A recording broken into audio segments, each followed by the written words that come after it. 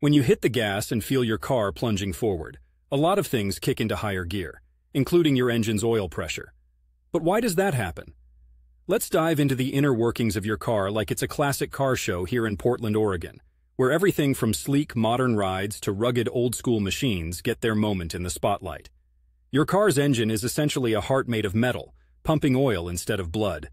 This oil ensures everything runs smoothly, minimizing friction and protecting against wear and tear. Think of it as the unsung hero of your vehicle's engine, preventing a Mad Max scenario under the hood. Now, onto the main act, acceleration. When you accelerate, your engine's workload increases. It's like going from a leisurely walk in Portland's Forest Park to a full-on sprint. To keep up with this increased demand, your engine's oil pump spins faster, driven by the engine itself. As the pump works harder, it pushes more oil through the engine, which causes your oil pressure gauge to climb. It's an instant reaction to the increased demand for lubrication and cooling.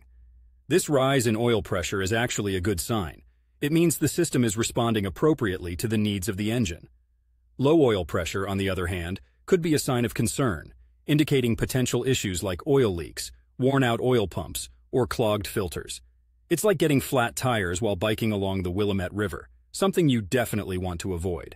Yet it's important to know that too much of a good thing can be bad.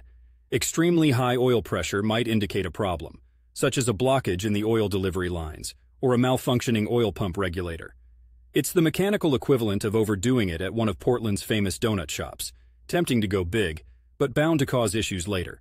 So the next time you feel your car surging forward and see that oil pressure gauge climbing, you'll understand that it's your vehicle's way of gearing up to meet the demands of the road. Just like the diverse landscapes of Oregon demand different approaches, from the calm of the Columbia River Gorge to the challenges of Mount Hood, your car adjusts its internal workings to keep you cruising smoothly.